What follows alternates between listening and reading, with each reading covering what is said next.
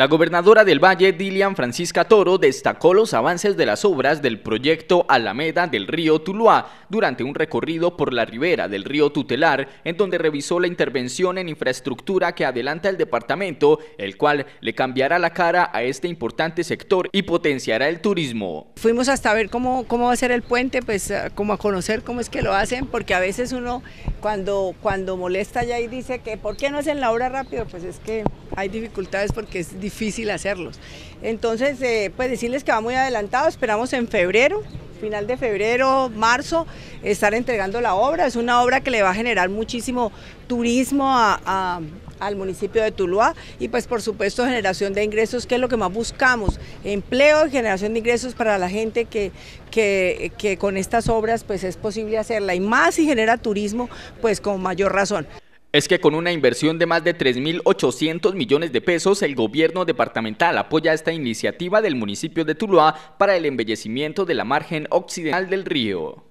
Así que pues estamos de verdad muy, muy, muy contentos de que esté avanzando a, tan buen ritmo y yo lo único que, que, espero es que ustedes pues la veeduría esté ahí muy presente para que todo se vea cómo se está haciendo y qué está pasando, pero, pero realmente veo que van muy adelantados. Además ya está lista para su inauguración la vía Tuluá-La Marina que comunica el casco urbano de esta localidad con una parte importante de la zona rural, caracterizada por ser una gran despensa agrícola del centro del departamento. La vamos a hacer el 25 que es domingo, a las 10 de la mañana, pero queremos hacerla en la Marina, en el Coliseo, para que no haya problema, que si hay lluvia, pues estemos allí en el Coliseo y la gente pueda estar. Entonces lo vamos a hacer el 25 a las 10 de la mañana, están cordialmente invitados todos. Además, vamos a hacer otras obras, ¿no? Ya vamos a empezar la licitación de la planta de tratamiento de Nariño,